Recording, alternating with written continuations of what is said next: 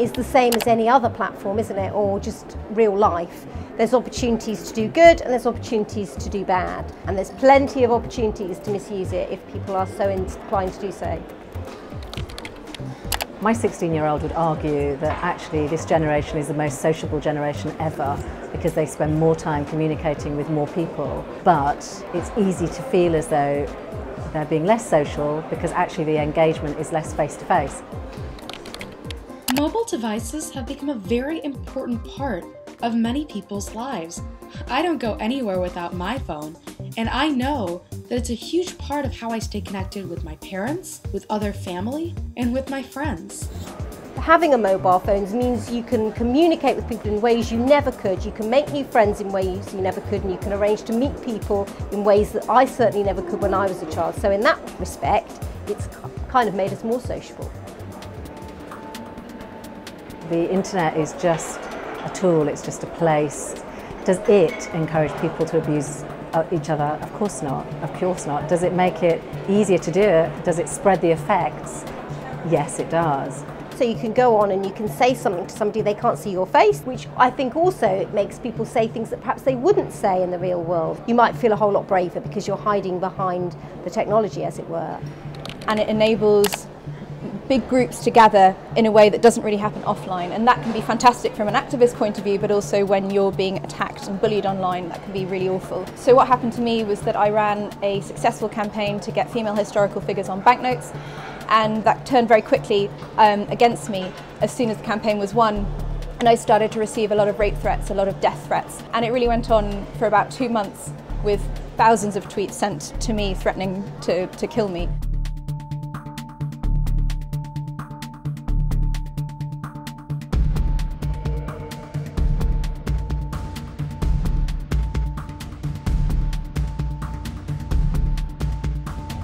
From my perspective, I don't think that that is a product of the internet. I think it's a product of society and society is reflected in the internet for good or ill. I think what the internet does perhaps is it magnifies it.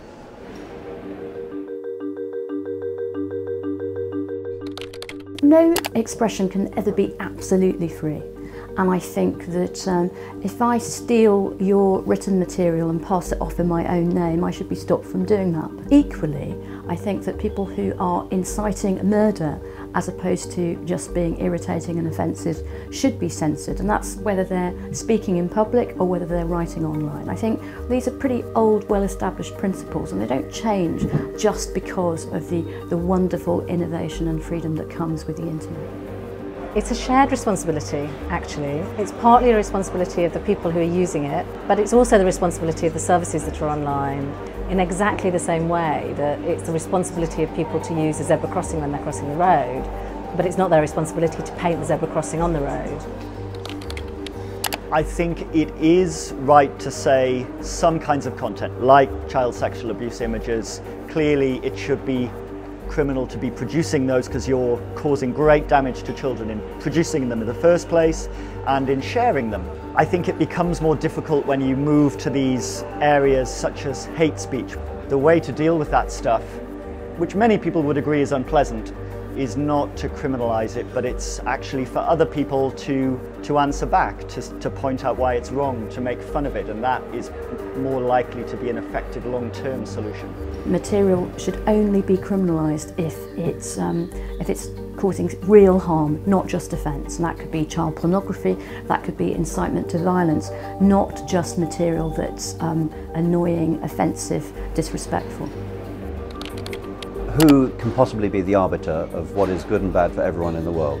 It's generally a bad thing to empower an individual to make decisions on behalf of others, what content is good and what content is bad. It's very important to realize that when we create rules for how to act on the internet, this should be done in a universal manner. It's very difficult to imagine one person deciding what the code of conduct for how people should act on the internet should be. I think what we would have more success in doing is having these rules um, and obviously policing them, but starting further back rather than telling them once they get online that they're not allowed to. What we actually want to do is stop people from doing it in the first place. You can make a case that countries should be able to set their own rules. I think the harder question comes when countries say, look, we don't like what this other country is putting online and we want it to stop. But free speech campaigners say, no, we already have quite enough censorship in the offline world, we shouldn't be reproducing that online. The biggest challenge facing governments online, it's probably, Amnesty would say, making sure that they've got the balance right between protecting rights like the freedom of expression and freedom of assembly online and also making sure that their citizens are protected and they're protecting their right to life and their right to be living their lives free from violence. It's not necessarily a balance, the two don't necessarily cancel each other out, but it's working out in this new horizon that's only been around for a very short amount of time where those boundaries lie and doing it properly.